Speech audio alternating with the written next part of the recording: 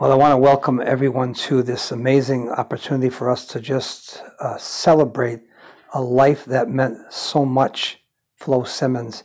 And uh, we're going to open in prayer and I'm going to say a few things. Father, thank you today. We really pray that you bless this time. Bless the family, especially, God, for uh, they need comfort. Uh, thank you that you are the Father and the God of all comfort. 2 Corinthians chapter 1, verses 1 through 3. Thank you you give us all the comfort we need. So bless this time in Jesus' name. Amen.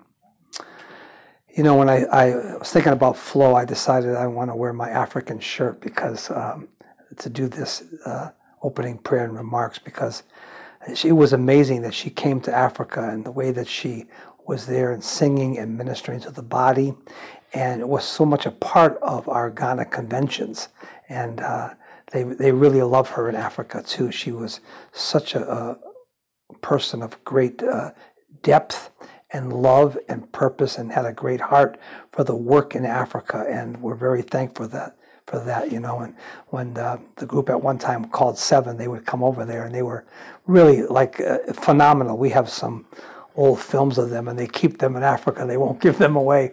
So she was a an amazing woman of God. And really, when you think about uh, women today, and even women of God, this one was exemplary. She was incredible. Uh, spiritual mind, uh, a heart that pursued God, loved her church, loved the leadership in the church, loved outreach, responded. And so, uh, as we consider her life today, we consider a life that is a life based upon God Himself, Zoe life Zoe life in Flo Simmons, and that's amazing. We all have biological life, and all of that biological life, bios life, will end one day for all of us.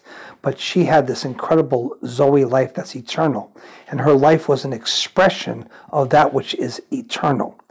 Eternal in so many aspects her personal walk with God, her walk in the church, her walk in her family, her walk uh, of always having a desire to see people be saved and get to know God. So that was a walk with eternal life. And she walked that walk, and she's still walking it today because she's with Jesus in heaven. So uh, we just thank you, thank, uh, thank God that He gave us this life for a period of time and that we could enjoy this life. And it's going to happen again because we're going to enjoy this life again with her. In Jesus' name, amen.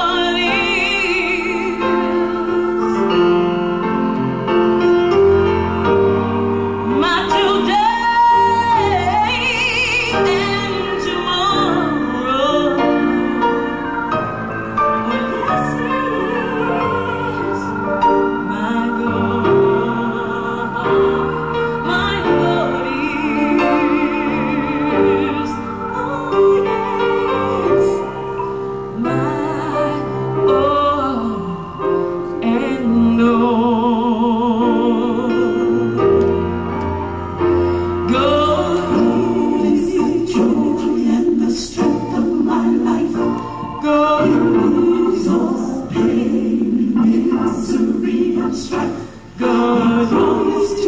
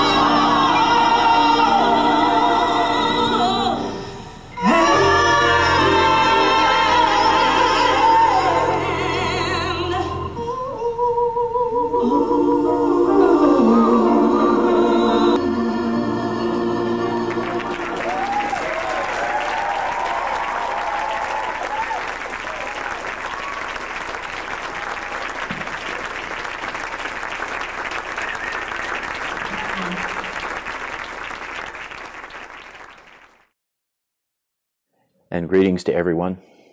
And I want to welcome you to this video presentation as we remember our dear friend and sister in the Lord, Flo Simmons, who just recently went home to be with her Savior. And we are celebrating her life. And of course, under these uh, unprecedented circumstances with the virus sweeping across our country, we are unable to have one of our face to face services here in our chapel, although we wish very much we could just to honor her. We know that the chapel would be uh, filled to capacity because she had so many dear friends and so many people who loved her, so many people who were the gracious recipients of her ministry, of friendship, and wonderful ministry of song and worship and just the fact that she reached out to so many and loved them and listened to them and always had a word of encouragement for them. But again, under these circumstances, uh, we are just thrilled to be able to remember her this way through this video presentation. So, Father, we ask you to bless the thoughts that we'll share now as we remember our precious sister Flo Simmons and encourage our hearts with these thoughts. And uh, we thank you, Lord, for the promise of her being in your presence.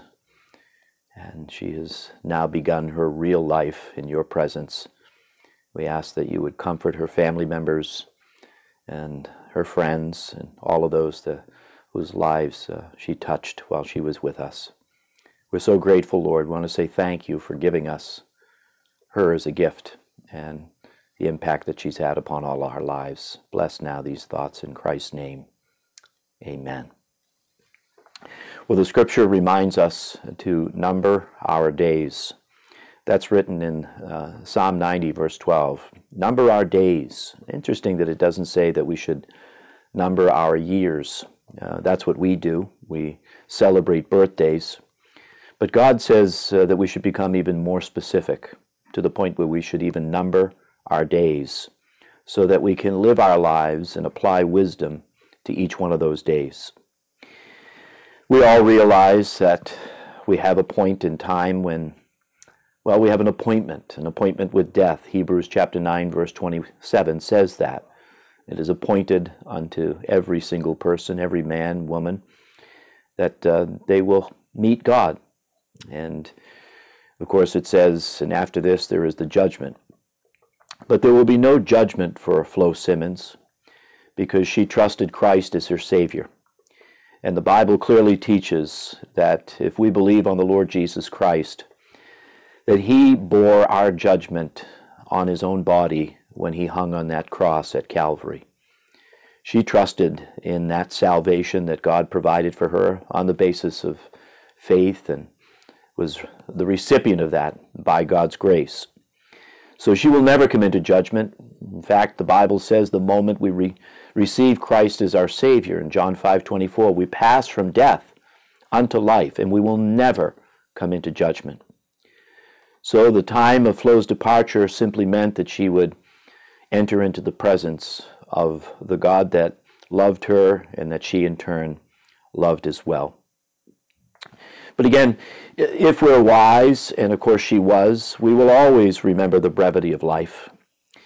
Uh, again, we can exercise, and uh, of course many do, and that can add a few more heartbeats to the measure of our lives. Medicine can uh, help us with a few more years, um, and we're grateful for that as well. But we know this that in the end, there is an end. For all of us, nobody escapes this. Uh, there are some appointments as we make our way through life that we do miss. There's doctor's appointments and dental appointments and appointments with the children and appointments everywhere. Some of them we make, some of them we miss. But this one, when we leave this world, we will not miss it. God knows what time that is and what hour that is and what day that will be.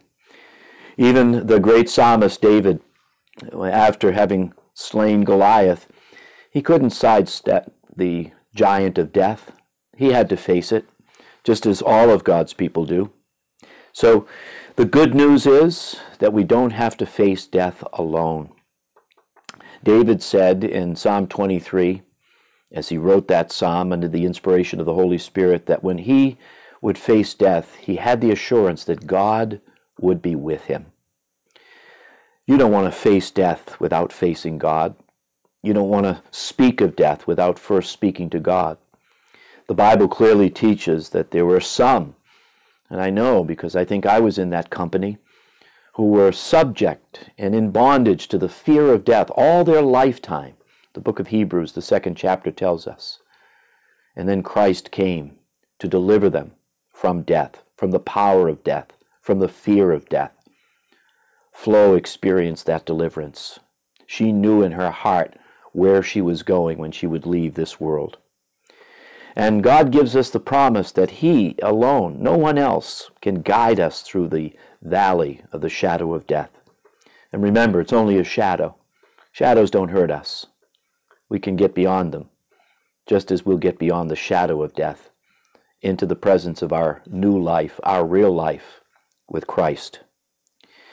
Jesus also teaches us that he's committed to getting us to that place called heaven safely. Years after one shepherd wrote Psalm 23, another shepherd, the good shepherd, the great shepherd of the sheep, Jesus, said in John's Gospel, chapter 14, said, I'm going to prepare a place for you. I'm building a mansion for you. And if I go and pre- prepare a place for you, I will doubtless come again and receive you myself. Think about that. Jesus said, I will come back and take you with me. That's his promise, his pledge to take us home. He's not going to delegate that task to anyone else. We know that throughout the history of the church, God sends missionaries to teach us and to proclaim the gospel, angels to protect us as we make our way and move through life, teachers and preachers to guide us, instruct us, physicians to heal us. But when it comes to going home and entering our eternal habitation, well, He's the one who promises to take us Himself. He's personally responsible to take you and to lead you home. And because He does, we don't have to fear any evil. We don't have to worry or have any concerns that would trouble our souls. Jesus is our good shepherd. He's promised us to take us home. You know He's going to do it. I hope that if you're listening to this uh, service, this tribute to our precious sister Flo Simmons, I know, given the fact that where she is at this present hour, that there is would, nothing would mean more to her than for you, if you haven't, received Christ as your Savior.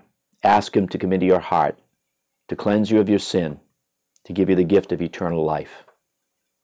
And you too will see Flo again, just as so many of us are looking forward to. We're going to miss our dear friend Flo. We're going to miss her ministry that she had to us. She was so kind. She was so gentle, always had the time to speak with you, to encourage you, to edify you. And of course, when she sang, oh, that was a real treat. That was a real blessing for us. Uh, we used to watch her get up, sing her songs, and she sang with such a powerful anointing of the Spirit. And again, many of us will remember when the song came to a conclusion, those that would sing with her would have to kind of help her off the stage because she was so almost spiritually intoxicated with the presence of God. She just kept singing, kept worshiping. they had to say, it's, it's time to stop. Well, praise God. Now she's in the presence of her Savior, and she doesn't have to stop. She doesn't have to stop singing. She doesn't have to stop worshiping. She doesn't have to stop with her adoration for her Savior. We're looking forward to seeing her again we know there's going to be a great reunion in heaven. And it says about Abel in the New Testament, the book of Hebrews, it says that although he was dead, yet he still speaks. We have this confidence, this assurance in our hearts that Flo, being dead, maybe we won't say it that she yet speaketh. We'll say that she still sings. And we look forward to hearing her once again in God's great choir. And we look forward to seeing her again, being reunited with her and all the saints, so that we can together proclaim the glory of God. Thank you so much for this opportunity to pay our respects and to remember Flo. She was a precious saint. She'll be greatly missed. We look forward to seeing her again soon. God bless you. Flora Etta, affectionately known as Flo, was born on June 18, 1940, to Gilbert and Beatrice McLaughlin. She was the firstborn of 10 children. She attended school in Carthage, North Carolina, and graduated from Pinckney High School at the age of 16. She relocated to New York City the same year to live with her Aunt Bertha. She worked at Cushman's Bakery as a bookkeeper. It was there she met her future husband, Sylvester Franklin Simmons. They married one year later and had five children from that union Sylvester Jr., Wanda, Brenda, Gilbert, and Cynthia, as well as Seal's daughter Constance. Flora had a big heart and great love for children. When her sister Eloise passed in 1969, she willed her four children. Seal and Flora accepted this challenge and raised William, James, Cassandra, and Harold as their own. During these formidable years, Flo worked in different capacities, including working in the U.S. Post Office, cleaning houses, and as a paraprofessional and subsequently as a teacher of special education for the City of New York at Public School 20. She always wanted to be a teacher and wanted to help the most challenged ones to learn. She was a faithful member of the New Canaan Baptist Church under Reverends Cunningham and Lawson. She sang with several church choirs, and she was beloved by all. She regularly did foster care and subsequently raised several children in that system who consider her their mother or grandmother today Isaac Glasper, Keith Horton, and James Horton. In 1990, after the death of her son James, she adopted her grandchildren, Eric Ross, Lamel Ross, Erica Simmons, and Darren Simmons, and raised them as her own. In total, she raised 17 children. She relocated to Baltimore, Maryland in 1992 with her grandchildren and started to attend Greater Grace World Outreach. She was very involved in the Greater Grace Learning Institute, singing with Seven, and subsequently New Song of Greater Grace. She participated in multiple outreaches and was known for her powerful and anointed singing. Flo never performed, but sang as worship to the Lord only. Some of her signature songs are God Is, Caught Up, It's in Jesus, and Your Grace and Mercy.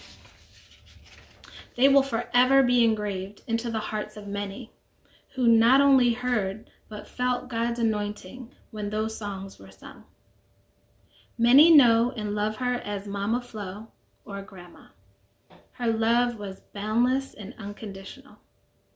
She was someone you could always talk to and tell your trials and trouble to, and knew she was truly listening and would give sound, godly advice to help you along the way.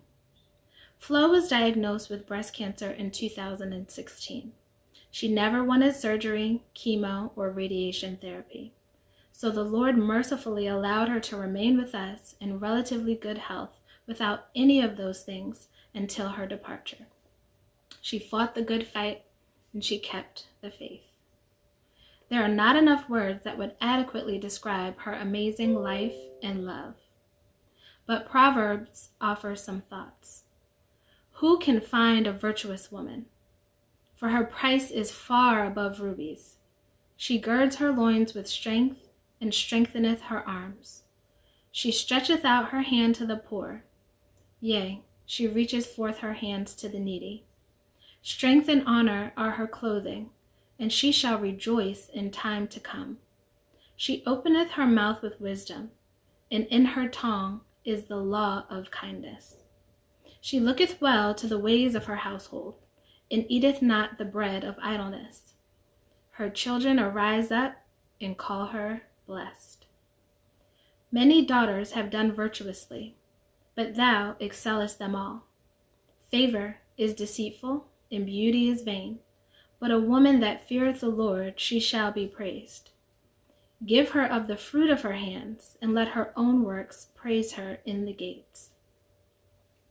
She was preceded in death by her husband, Sylvester Simmons, six siblings, Roy McLaughlin, Francis Quick, Yvonne McLaughlin, Alexander McLaughlin, James McLaughlin, Eloise McLaughlin, and five children James McLaughlin, Gilbert Nelson Simmons, Brenda Lee Randolph, William Lamel Simmons, and Constance Smith. She leaves to continue on her siblings, Reverend Dalton McLaughlin, Michael McLaughlin, and Vivian Ann McLaughlin.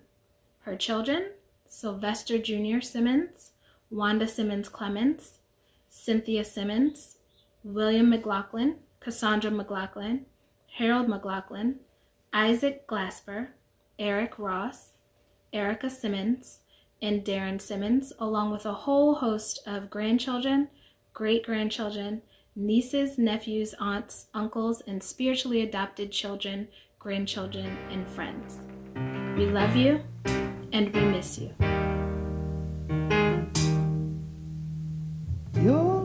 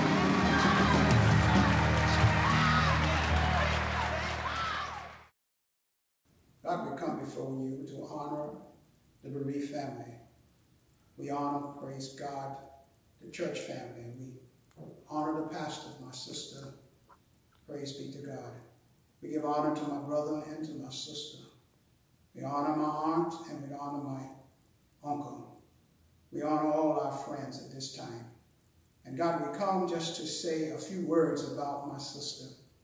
And I got a card that I felt that was fitting on today for me to read because that's how I felt the type of life she lived. The card said, one step can start a journey. One song can change a moment. One smile can start a friendship. One cup can lift a soul. One candle can wipe out darkness. One life can make a difference. One word can start a prayer. One hope will lift a spirit. One touch can show that you care. And I like to think that that's how my sister lived her life. She started out one step on this journey. And I like to know that I went along this journey with her some 70 years of her journey. Though I don't remember the whole full journey, but from the age of five to six, I remember this journey. I remember my sister, my sister who was the one who took me to be vaccinated and to prepare me for the first grade. It was my sister who thought that education was very important. And because of her, many have been educated. I thank God for her because she had to left such an impact to be able to say that she was a mother who raised 17 children. And each child had a different mind of their own. But yet she was able to find common grounds that she could come to each and every one that, and they really realized that she loved every one of them. I just want to say thank you for my sister. My sister who she and I had many journeys up and down the road, traveling here and there. She was not just my sister. She was a friend. She was a friend that we could talk about anything. And I just want you to know that she was one who loved and she loved what she done. She said she wanted to be a teacher when she was 15 or 16 because she loved children. And she wanted to be an educator. And I come to tell you that God put her in a position do just that. I thank God for it through, through the good times and through the bad times. But I just come to tell the family that you just got to hold on. You got to hold on to God's unchanging hand. And if you're feeling low, look to the hills which come at your help. Because all your help coming from the Lord. If you're feeling like you alone, remember that Flo was always by your side. Remember, no matter what you went through, it never stopped her from loving you. Every now and then, just fall on your knees and thank God. I can't tell the story in fullness, but I know she wanted to write a book. And if God gives me the strength, I will write the book for her. I raise my hands and say thank you. Amen and amen. Grandma was the most phenomenal woman I have ever met. Um, I cannot remember a time in my entire life that we have not been bosom buddies. She's one of the only people in the whole world that um, knows me, loves me, truly gets me, and never judges me. And that's just who she was. She loved everybody, everybody loved her. Um, but she was my best friend. Um, and she has been for a very long time. And I'm grateful that the Most High allowed someone like her to to be in my family and to love me in my lifetime. She was royal, um, unconditionally loving, um, just so sweet and and real. And I'm gonna miss her tremendously, but she, her legacy definitely, definitely lives on. Okay, so my favorite moments with grandma was when I was little and I had to go to her house. I had to wake up at 5 o'clock in the morning to go to her house so I could go to school. She would always get me ready for school. She'll let me take a bath and then she'll give me breakfast and then she'll let me sleep for a little bit longer. until I had to go to school. I had to wake up at 5 o'clock in the morning and I had to be at school at 7 o'clock. So she'll rub my head, let me go to sleep and sing to me and stuff, and then I'll take a nap and go to school. And then she'll drop me off, and then my mom will pick me up. Those are my favorite moments with grandma. Like, those are the favorite moments I will always remember. But yeah, I love you, grandma. Fly high, and I miss you. Hey, mama, I love you and I miss you. You're gone, but you'll never be forgotten. You'll always be in my heart. Love you.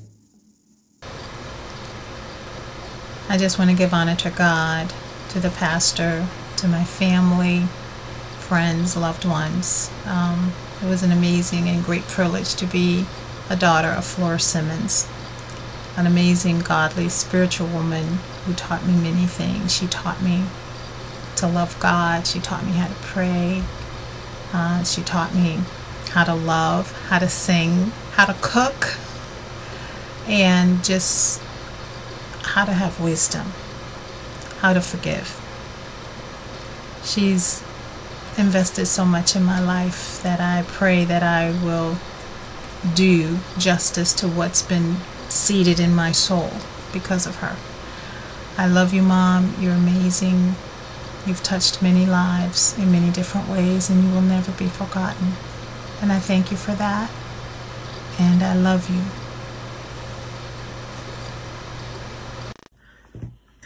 Hi, this is Pastor Steve Paragallo, and on behalf of myself and my wife, and um, I would like to express my deep appreciation to God and to her family and to the body for the life of a dear friend of mine, Flora Simmons. For 20 years, I've played the guitar in the Greater Grace Band, and uh, for 10 at least more years, I directed this group, New Song, of whom Flo sang. Thea and Terry are not in that picture, and they should be. But um, in all the time that we sang together and worked together, she would come over every Thursday night to our house for practice, and she was never negative.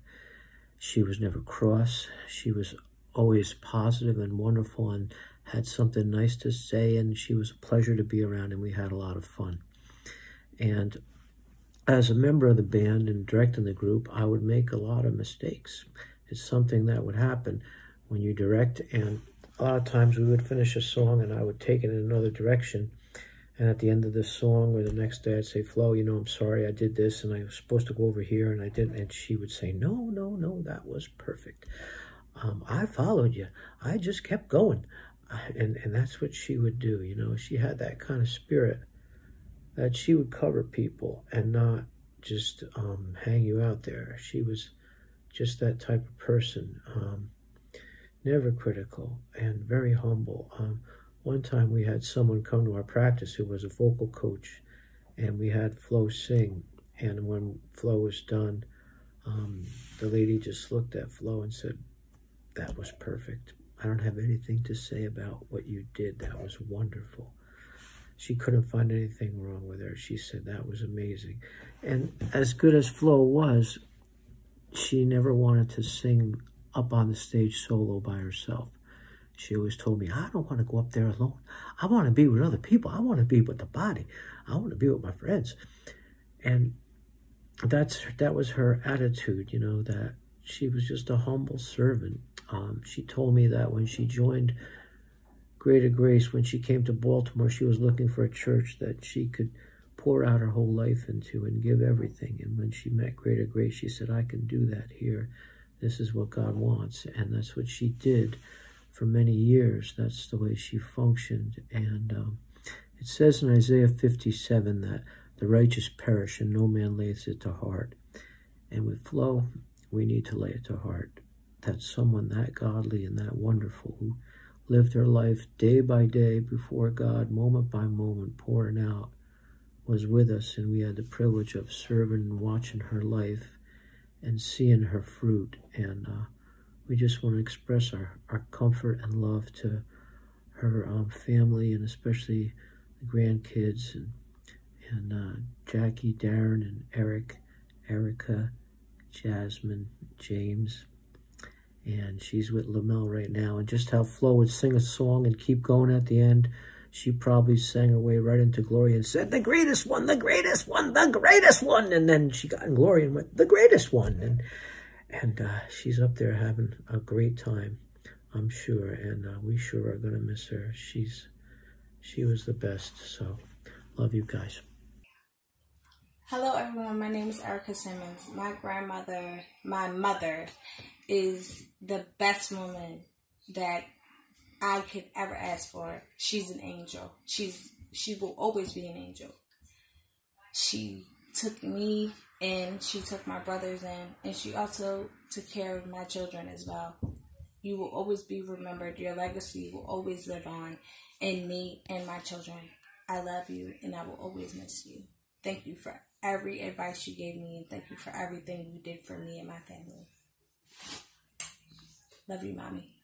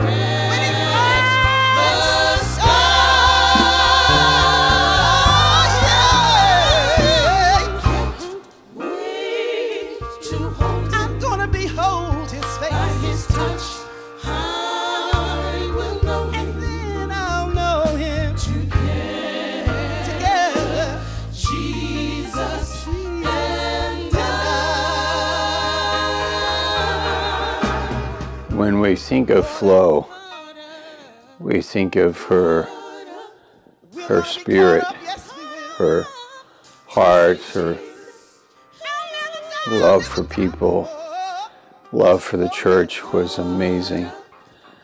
Uh, I spent a little time, different times, with her, and she just was very, very sweet and very loving, very humble, very kind. I think she's the kind of believer that Jesus, uh, when he said the last shall be first, I think he's talking about people that are like her.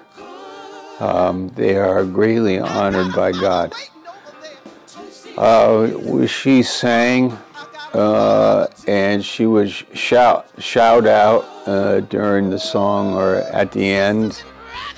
Um, she had a relationship with Christ and and knew it.